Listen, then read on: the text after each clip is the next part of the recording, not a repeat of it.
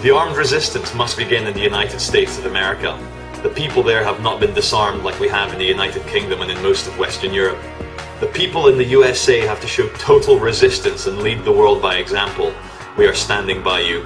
They need to organize and begin a concerted effort to destroy the FEMA concentration camps and to dismantle the surveillance state.